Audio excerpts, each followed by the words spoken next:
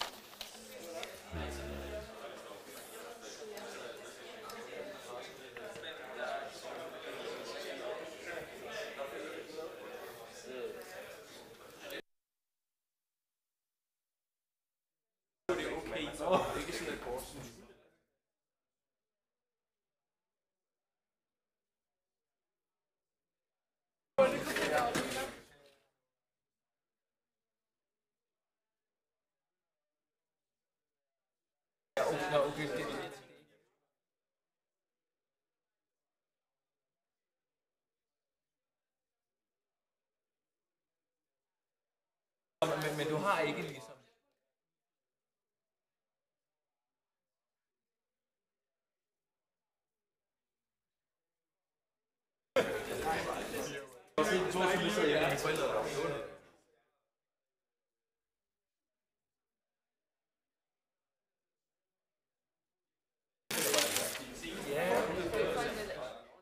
Jeg tager forskellen mellem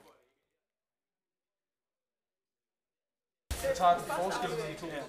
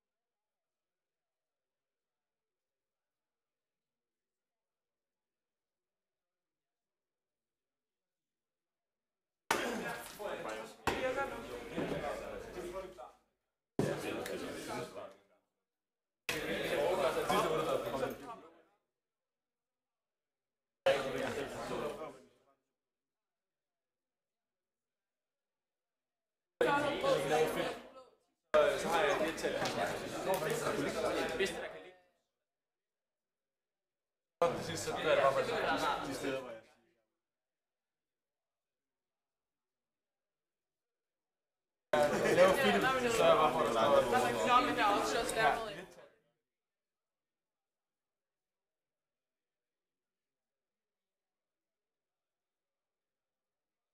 Jeg vil sige, at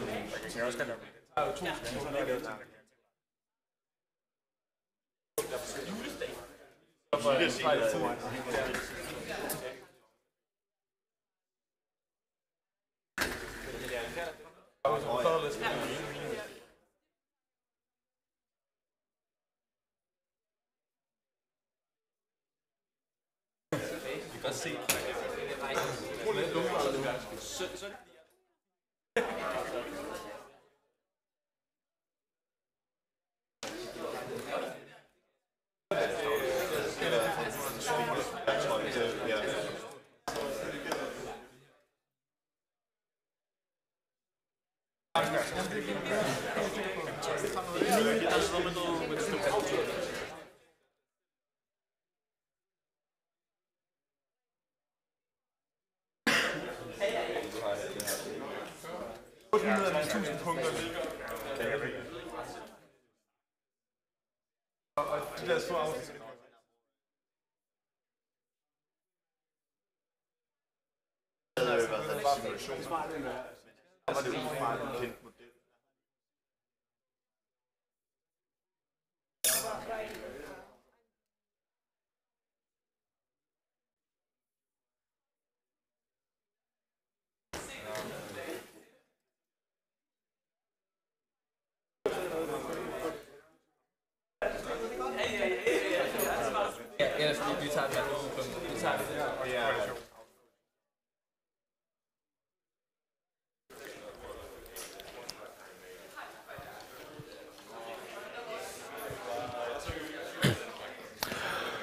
So good morning.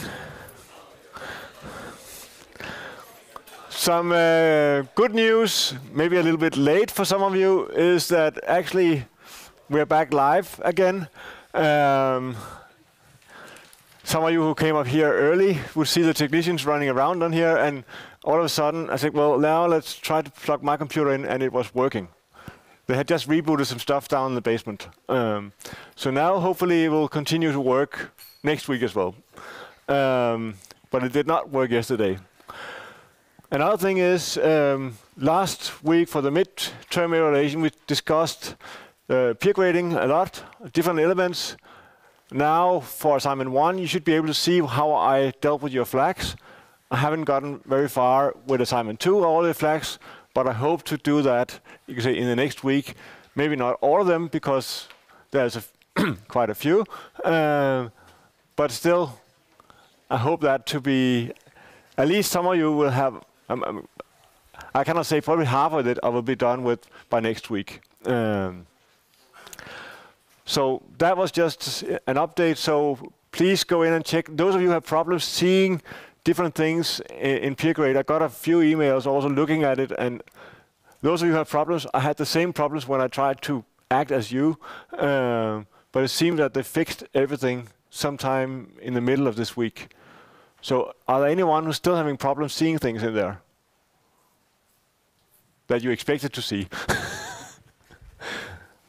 That's good uh, because I was a little. I was at some point I was quite worried, and that was actually the reason why I did not start resolving flags because if it was not working, well, I would rather wait and then do it when I knew that things were working.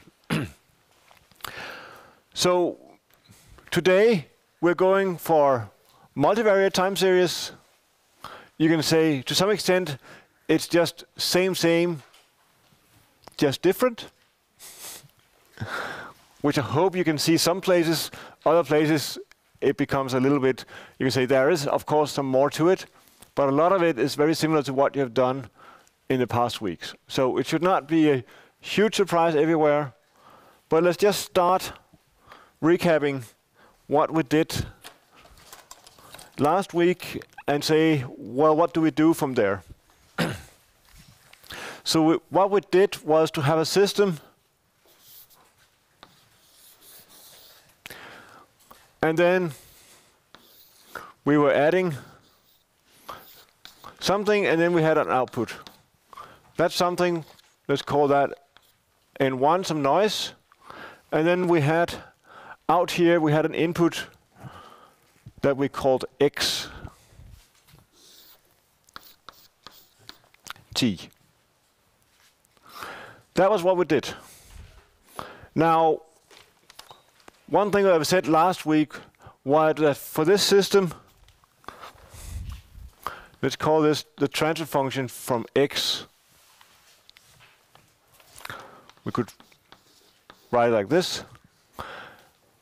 Now, last week, one thing that we did assume was that there was no feedback from y to x.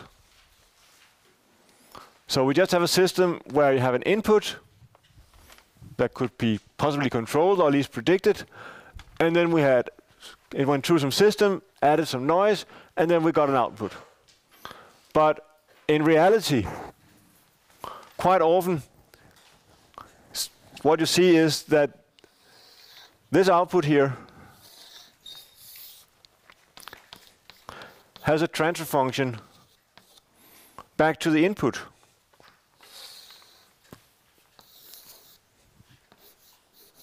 with another noise signal. Like this. So all of a sudden, you have kind of a closed loop here, where signals are running around, adding noise, adding noise, adding noise, right? That was what we tried to avoid last week, but how do we describe this Well, if we look at yt, what do we have? I prefer to write it's hx of b on xt plus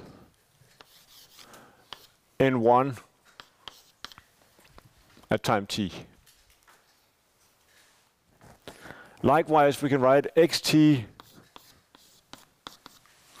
as oops, hy of b on yt plus noise level 2. Does that make sense from the drawing above? Good. So this is one way of describing the system. Now, here I kind of write it as a bivariate system. What we want to do to kind of make everything similar to what we did in the univariate case is to write this not as two independent equations, but to write it in matrix form. So to have it on matrix form, what is it that we want? Well, we will define a state as, let's just call it yt xt. And then we should figure out what to multiply on that to make it equal to something that we do on the noise. In this case, there's no operators on the noise directly, so we'll just write it as a vector of the two noise elements. Like this. So now, what do we need in this matrix? On the diagonal, we have a yt and an xt here, which gives us a 1 in the diagonal. Just as always when we had these phi of b uh, or, or theta of b, we have a 1 plus some coefficient times something more. Then we have here a coupling from xt. If I move this to the left-hand side, I change the sign of it. So I get for xt, I get a minus, oh, minus hx of b. And likewise, down here, x of t has an influence from y to t through h of b like this. So now we have it on a similar form, just as, as a two-dimensional system, but just as a on the same structure as what we've seen previously. This is just a slide saying that basically we have these two inputs, we have the two outputs, and then we have four transfer functions from input to output. One, two, three, and four. In this case, two of them are, you can say, quite simple because they're just the unity operator, and two of them are, you can the traditional transfer functions. But I mean, in this kind of a system, what would you want to analyze? Well, you want to look at the behavior of, say, maybe just y, because that's the one you care about. x is just some helper function inside. So if we take this and say, what is the transfer from the noise to y? Then it's maybe easiest to look at what we have up here from the noise signal, you have, of course, to get to y, you have n1 coming directly. And then you have the previous y here goes through hy here, called x2, same thing. And then we add the noise n2 here, and then we go through this system. So you have a feedback from Y and back to Y.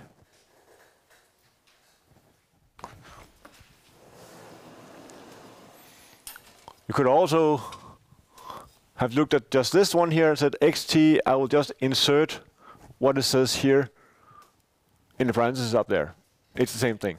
Now, what we want to care about is what happens to y. But now we have y on both the left-hand side and the right-hand side. So what we'll do is to make the z transformation of the system. That's fairly easy.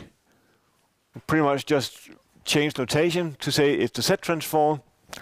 And now we can multiply and add and things like that. So basically, this is just a simple equation with one unknown that we can solve fairly easily by just taking the y term there, moving it to the left-hand side and dividing by with whatever is in front of the y there, which becomes 1 minus h1 h2. That operates on n1, and then on n2 we also have the an extra h1 there relative to what we have on n1 up there.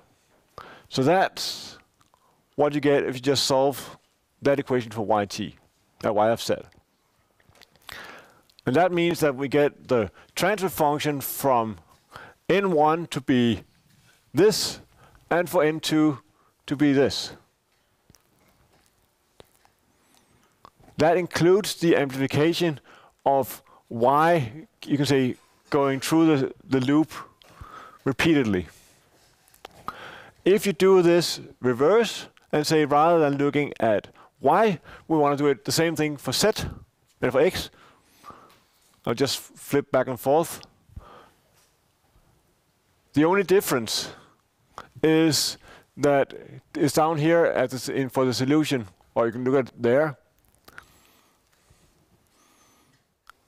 The transfer function from n1 now has the h2, whereas the transfer function down here has a 1 as opposed to before.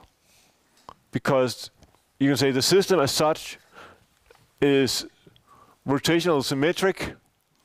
It's the only difference is, well, when you have the noise, which one of these two does it go through?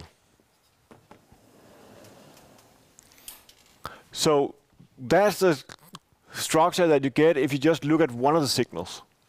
So if you want to identify this, this process here as a univariate system, only having the univariate case, well, this is what you're looking at. Well, if you do not know you have two noise signals, you just assume that you have one noise signal, then you will look at, a, at the sum of the two noise signals. But these are linear operators, so it's no problem to add these things and to make a combined model. It will just not be the true underlying model. But you can make a model for that. It will probably be complex because you have a multiplication of operators and you will have a sum of some weights up here, but you could do it if you wanted to do it. Here we prefer not to do it because now we assume that we know that is a bivariate process. So that's the formulation I have down here. If I take this notation I have down here, which is the top part of the slide, and do the z transform of that, basically what I do is that I do the element-wise z tra transformation of the each of the elements down here. And now if I want to calculate the transfer functions for y, z, and xt, what do you do? When you have this equation here. What would you do? Consider just linear algebra. Yes? You pre-multiply with the inverse. Yes. So that's what you want to do. Is that easy to do?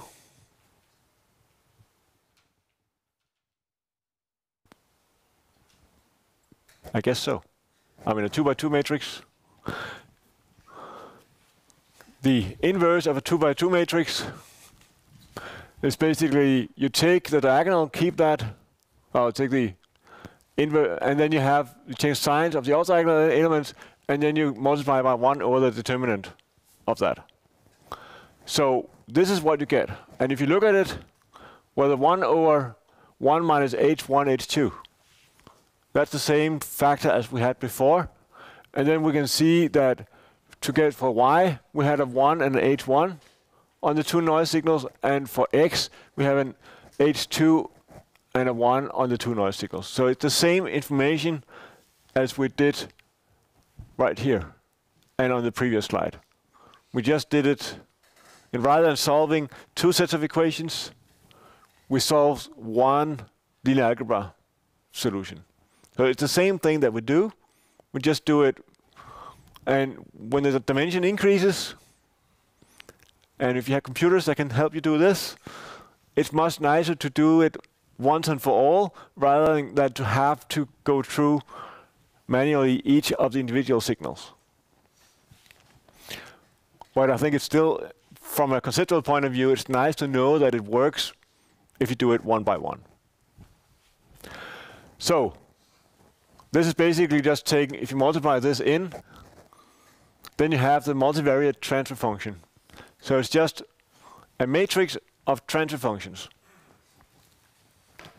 Nothing really new there. Um,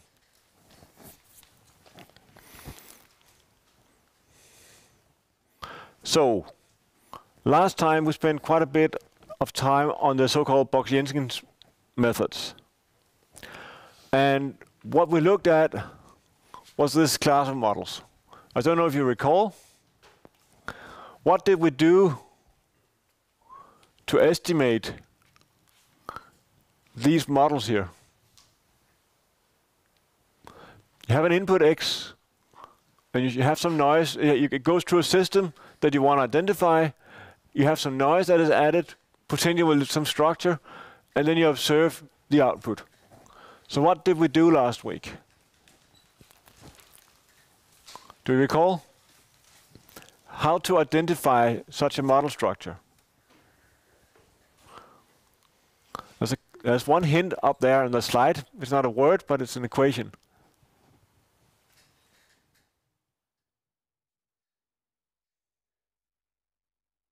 It was kind of the concept, one of the concepts from last week. Yes? Pre-whitening, exactly. Do you recall what that was doing? I should do a quick recap. So, what?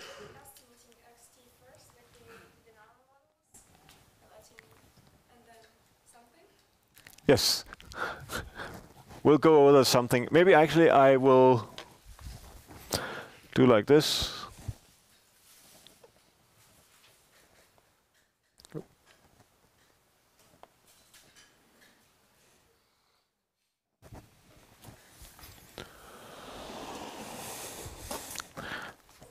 What I will do is to pull up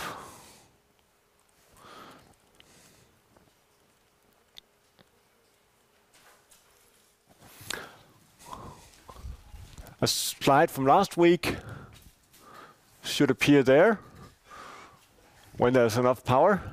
So what we wanted to do first, of course, there is an assumption here, which I did not discuss so much in detail last week because of the time pressure. An, it's an assumption that we can describe X as the output of an ARMA model. Of course, I can create, create signals where that approximation is not so good, but on the other hand, you can also always make a model that is not totally bad. As someone wrote me an email or message, it's like, I cannot find a perfect model, even though I think that someone made something that is almost perfect. Isn't that so? I see, I see an almost smile. Okay. um, so the idea is first to find a suitable ARMA model. Suitable does not mean perfect, but it's the best that you can find. Same thing for assignment tree. To your input series. That is the structure here, then we assume you have some eta white noise signal here. Now we have this linear operator here. We have this operator. We can apply that on the output as well as on the input X. When we do that, we remove whatever structure in there is in X is being removed because the residuals here is white noise. So the residuals from when we fitted this model and, and get the residuals, we get white noise out. And by applying the same operator on both sides, it's just like multiplying on both sides of an equal sign. That's what we do over here. We find this model here. We filter by multiplying by this operator on xt to get something, and then we multiply with the same on yt. And then we get alphas and betas, and now we look at the cross correlation between the two. There was one thing that after the lecture last week, this is the code that I used as an example last week.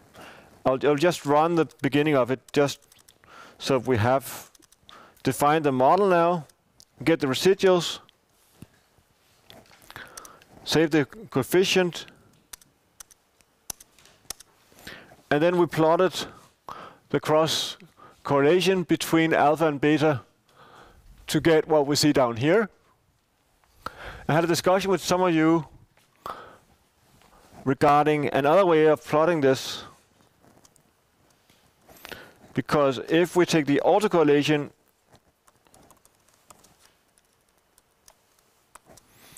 now I should try something. Um,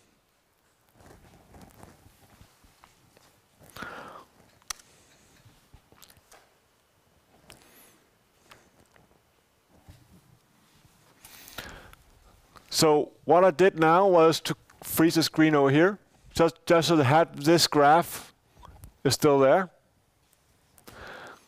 And then if you should compare what you look at over here. The structure is somewhat the same, right? If you just look at, so what I did was to combine the two, the alphas and the betas, so now I have a matrix that I look at the autocorrelation for. What I get on the diagonal here, those are the autocorrelation function for the individual series. Up here I see, well, my model was, for x was good. It's white noise. The y still has a little bit of autocorrelation, but much less than it had before. Did not show it here, but showed last week. And if you look at the off-diagonal elements here, then you have the negative lags down here and the positive lags up there. If you stitch those two figures together, then you get what you have over there. Can you see that? Now, one question related to last week. Is this system causal or not causal?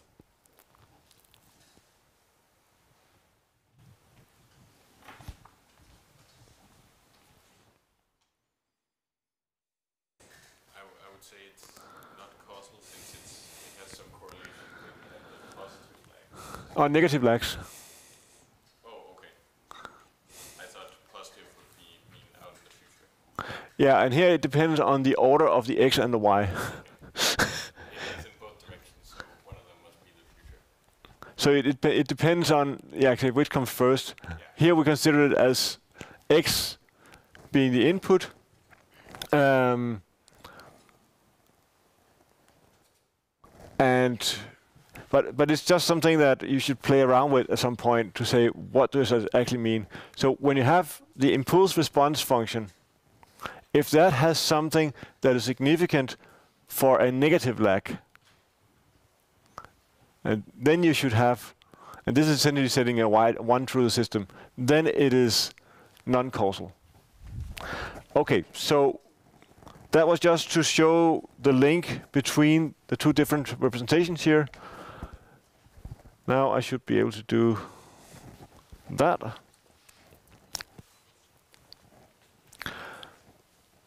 That was the example from last week. This is where I want to get back to. So what we required last week was that the epsilon and eta were uncorrelated, as we also had before creating the connection here. Now, what if we start to do it in a multivariate setting to take the same model and we just continue with that model structure? How would that work? Well, it's not so different from what we looked at down here, right? But what we want to is not to have these fractions. We want to just have polynomials because a fraction like that will give you potentially an infinite polynomial. And we like to have a finite number of coefficients. So what you will have to do is you have to multiply with delta of b, sigma uh, phi epsilon of b on both sides up here. And likewise down here you have to multiply with phi eta of b so that you get what you have down here. So what does that mean? When you look at this compared to the, when you compare these two formulations, consider you want to identify this model structure. What happens to the model structure when you do this? Can you see that? Is it simpler or more complex? Or is it equivalent? I think the true answer is it depends. It depends on how you can estimate the model. But if you can only estimate parameters as in ARIMA, where you specify the order of each of the polynomials, which is basically what you do, then what you will do is that you will specify the product of those two. So we have a first order system, a first order system. Here it becomes a second order system. Likewise, here and there, you will have the order here is higher than because you have to multiply with the AR part of the noise part that is multiplied on the system filter here. And the reverse, the, the autoregressive part on the input here is multiplied on the noise here. Of course, if you can identify the structure and estimate in that structure, everything is fine. But if you just treat it as polynomials, then you have a second order, a second order, and a second order. That's six parameters. What you have up here is a say a one, one, one, and one. Then you have four parameters. So you end up, in that simple case, to estimate two parameters more than what you actually needed to because you have some products where you say some of the terms are actually the same. So life is not always just so easy.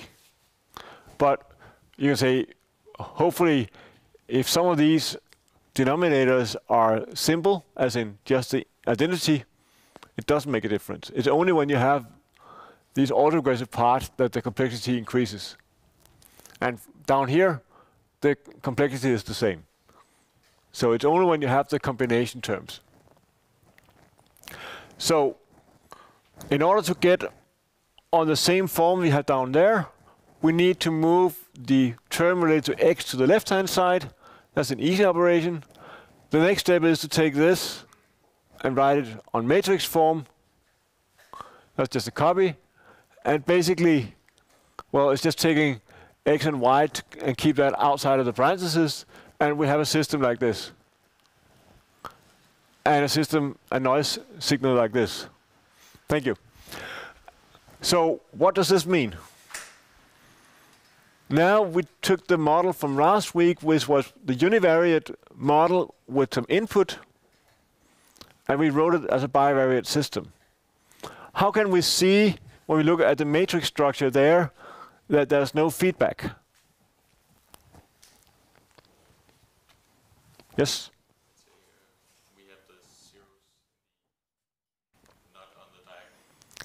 So this is for the noise part. So that gives you that there is no cross dependence on the noise signal.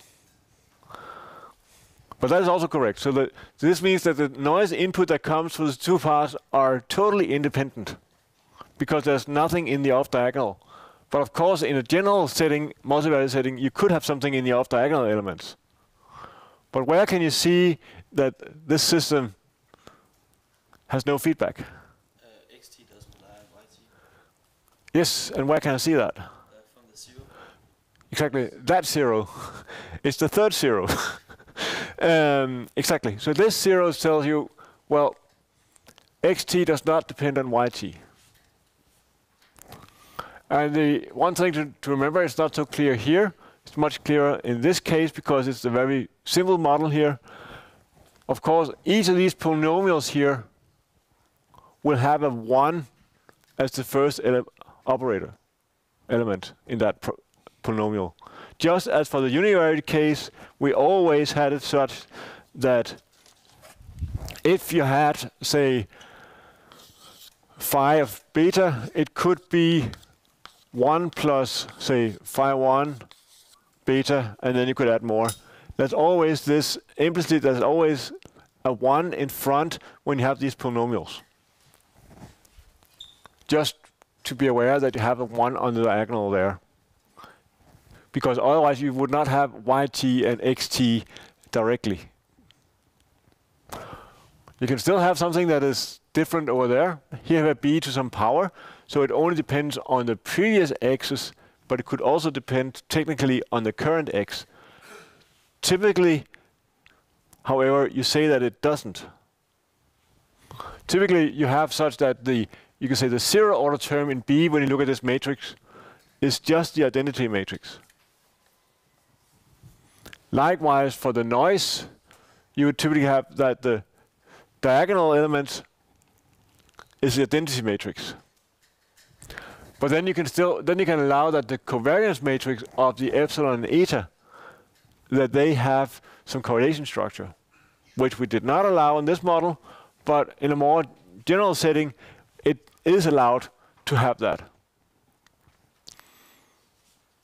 I think that was pretty much what I wanted to say here. Yes, so here we have non, I mean, non-zero correlation. You can pretty much construct that in two ways. Either by saying that you produce some correlated noise, or by including elements in the off-diagonal part here.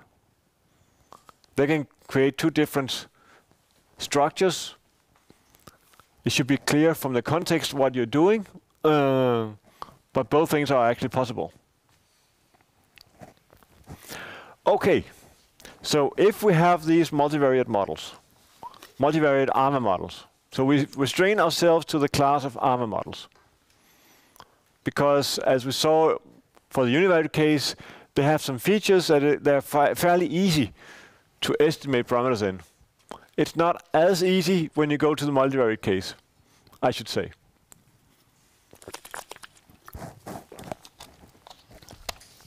One thing that is important to notice is that when you have a multivariate system like this, you're free to transform either of the individual signals by different operations before actually fitting the model. Similar to you have different mean values. That's the easiest thing you could do. You could also be that you actually want to model the logarithm of yt and just xt, or the square root of xt and the logarithm of yt. You can easily do that by pre-transforming the signals and then make a model. So just as you, in a univariate case, you can transform the one signal, then you can transform all the multivariate signals individually. I would say be careful when you do that, that you think of what makes sense. Say, if you have a lot of different, say, indices from the stock market, you would probably want to transform all, all those that have the same structure or nature by the same transformation. So if you had, say, the prices from multiple areas per square meters like in the first assignment, if you did that for a lot of different areas, you would probably use the same transformation for all areas. But if you have other predictors that you could use, sort of adding an x down here, that might not need the same transformation. So that's that's an important thing that you can you don't have to do the same for all series. Of course, when you have added all things together, then you want to do the same for everything. It can also be that you want to difference some of the series, but not all of the series. When you do so, you should pay a little bit of attention because when you difference a series of, say, n observations, you have n minus 1 observations out. because uh, you do not have something as a reference, or you can assume a zero somewhere. But then you should keep in track of what is the time that you're actually comparing. Are you looking at, say, the one set, or when you have this one that one set shorter, where do you want to align it? Probably at the latter end. And I think this we have discussed that we basically just have a matrix of elements and you have a leading element of unity in the diagonal and typically you have a set of diagonal elements have a leading term of zero. You could construct signals where that is not the case, but that is from a default ARMA perspective, this is how we want to restrict ourselves to build the model. I don't know if you remember this. I've shown this before. In the very first lecture. Show the bivariate data set here, and we observe it. These are the NO and NO2. Actually, NO2 is the first state and NO is the second state.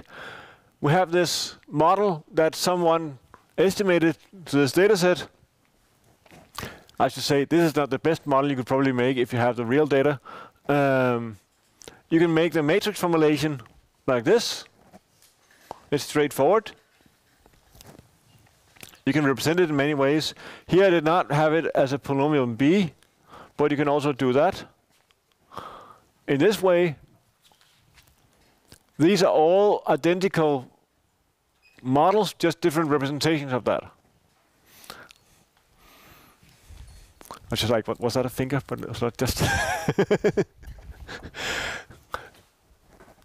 but this is the structure that we want to look at. So what is this model? How would you name this model?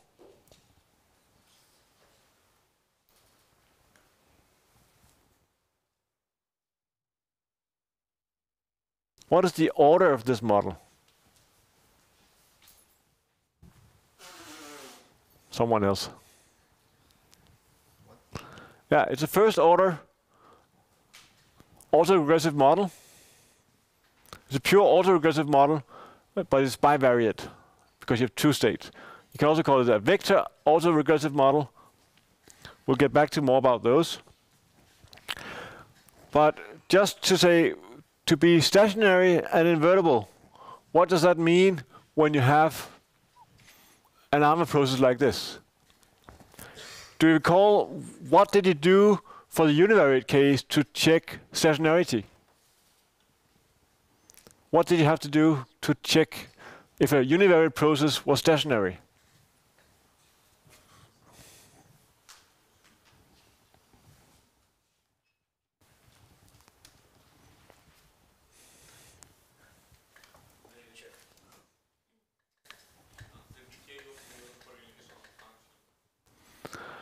That is uh, one way to look at the autocorrelation function and see if it decays fast enough. That's when you look at some data. But now if you want to, if you have a model that is already estimated or given, and you want to state, is this stationary, yes or no? Then you, when you look at the decay of autocorrelation function, it's not always a clear yes or clear no, because you can get close to stationarity, I mean close to non-stationarity, but still technically being stationary. But there is a way where you formally can say if a given model is stationary or not.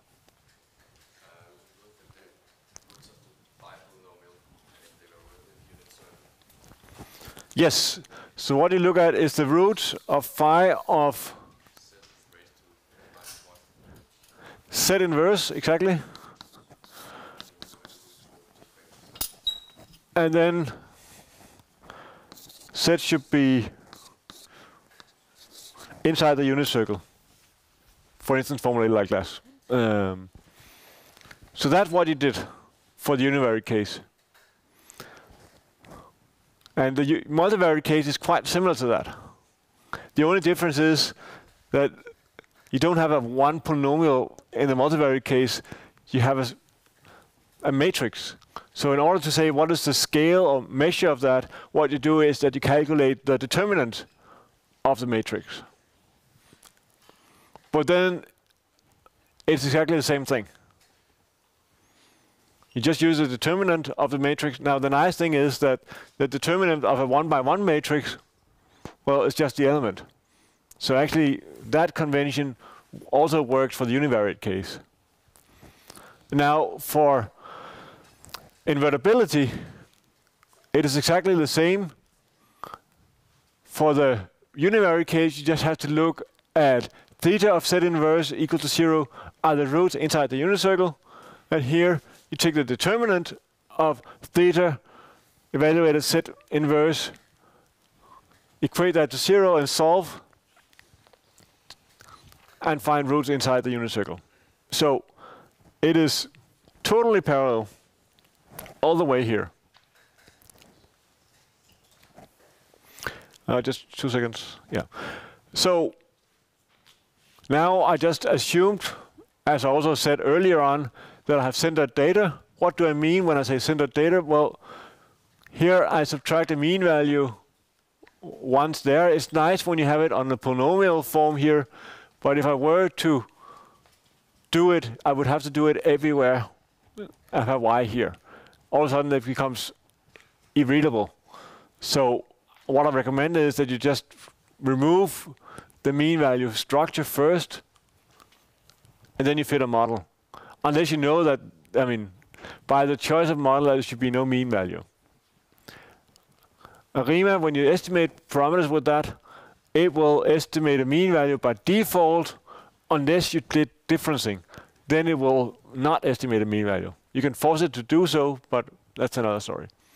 So the default for ARIMA depends on which model structure that you picked. So we have this operate polynomial, and we have the same thing here for the for the ARMA model. And I think this is the best place to take a break. So let's resume five minutes to nine. And there were a couple of you who wanted to ask some questions. I think now is the time.